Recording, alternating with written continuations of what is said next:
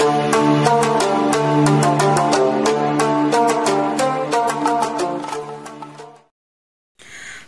sahabat-sahabatku semuanya, apa kabarnya?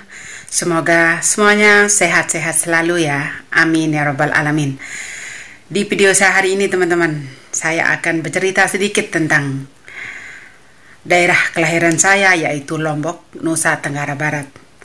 Selain terkenal dengan daerah pariwisata, panorama alam yang sangat indah, yang tidak jarang wisatawan sangat terpana melihat keindahan alam Lombok, Nusa Tenggara Barat. Kedua yaitu dengan uh, tradisi yang sangat unik, yaitu salah satu dari sekian banyak tradisi unik yang ada di Lombok yaitu kawin lari, teman-teman.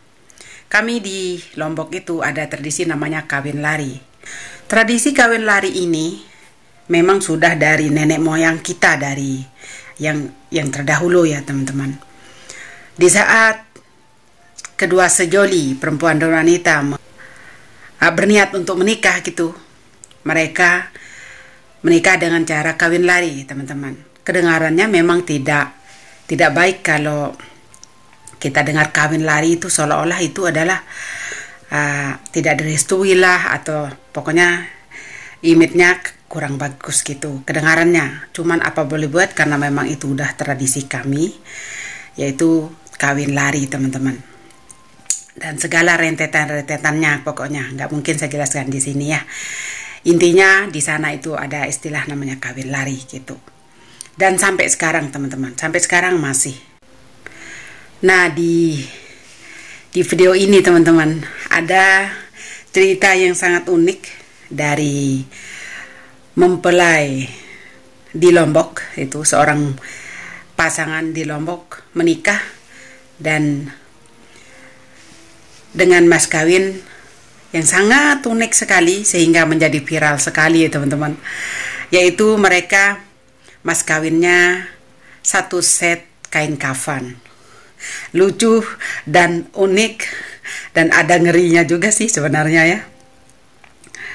Masa apa namanya mas kawin kain kafan uang ke emas ke atau apa ya? Tapi ini berbeda dari yang lainnya teman-teman. Dia bukan seperangkat alat sholat malah satu set kain kafan.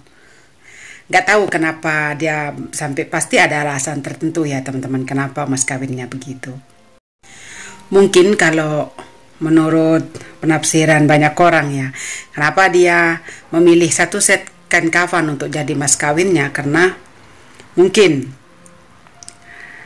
pingin pernikahannya langgang sampai maut memisahkan.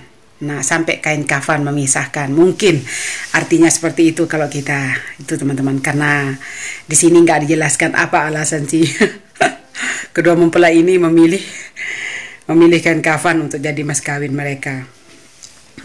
Tapi saya rasa nggak ada salahnya sih, ya unik sih.